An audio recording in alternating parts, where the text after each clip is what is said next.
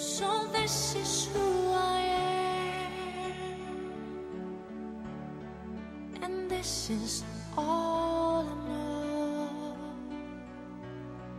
And I must choose to live for all that I can give, the spark that makes the power grow. And I will stand